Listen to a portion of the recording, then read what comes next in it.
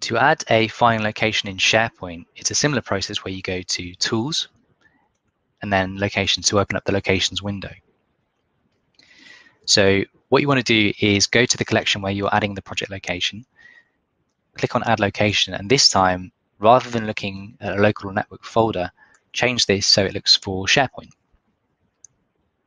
With the location, rather than browsing, what you would do is type in SharePoint with a colon, and then go to the URL of the SharePoint site. So in this case, I want to go to the email folder on this project, and I'm going to copy that URL and paste it in this prompt. The description is just the name of the project, so in this case it would be Fitzroy Square. And this is basically what shows up when people file to this project. If I click OK now, I can see the project's been added there. And I know it's been added because if I click on it and then explore filing location, it'll take me back to that place in SharePoint.